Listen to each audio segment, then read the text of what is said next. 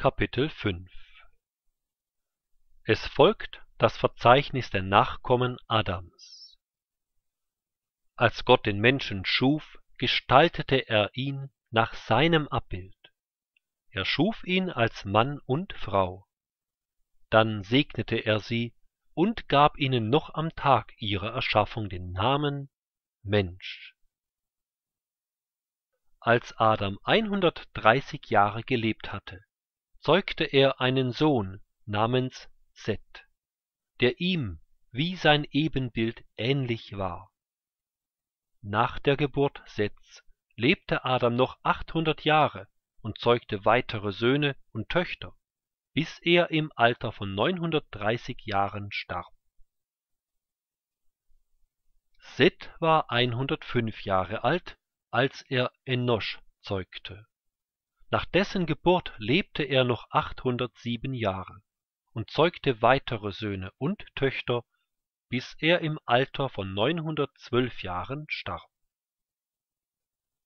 Als Enosch 90 Jahre gelebt hatte, zeugte er Kenan.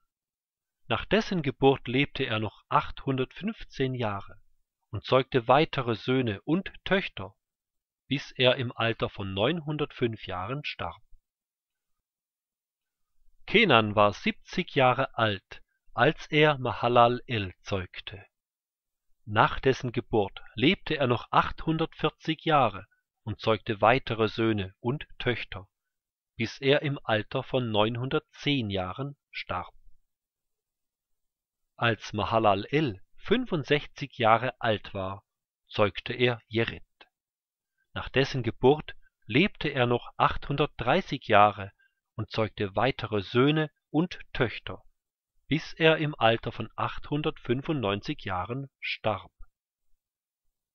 Jered war 162 Jahre alt, als er Henoch zeugte. Nach dessen Geburt lebte er noch 800 Jahre und zeugte weitere Söhne und Töchter bis er im Alter von 962 Jahren starb. Als Henoch 65 Jahre alt war, zeugte er Methuselach. Nach dessen Geburt lebte er noch 300 Jahre mit Gott und zeugte weitere Söhne und Töchter, bis er 365 Jahre alt war.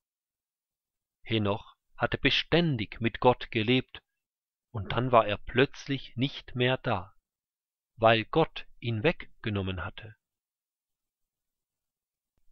Methuselach war 187 Jahre alt, als er Lamech zeugte. Nach dessen Geburt lebte er noch 782 Jahre und zeugte weitere Söhne und Töchter, bis er im Alter von 969 Jahren starb. Als Lamech 182 Jahre alt war, zeugte er einen Sohn, den er Noah, Tröster nannte, und sagte, der wird uns Trost verschaffen bei der harten Arbeit auf dem Ackerboden, den Jahwe verflucht hat. Nach Noahs Geburt lebte Lamech noch 595 Jahre und zeugte weitere Söhne und Töchter bis er im Alter von 777 Jahren starb. Noah war 500 Jahre alt.